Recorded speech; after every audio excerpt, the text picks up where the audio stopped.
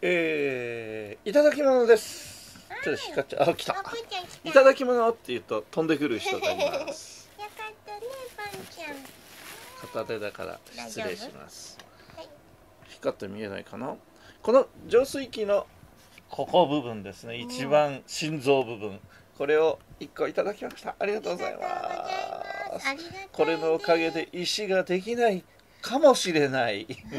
でもずっとできてないよね、ジャン君ね。と思っているんですが どうでしょうか。まあ、えーおこぼれでいただいている黒犬パパも、えー腎臓だっけ？膀胱だっけ？なんかどっかに石があるできやすいんだなっていうのが止まっているといいんですが。うん、よとにかくえーこれに変えてから調子がいいように思いますありがとうございますジャン君もすごい飲むしね。そうねね。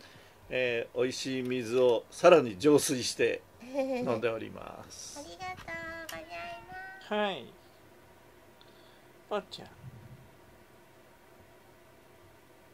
ポンちゃんジャン君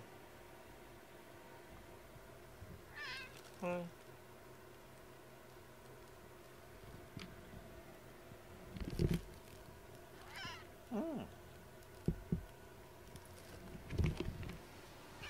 うんはい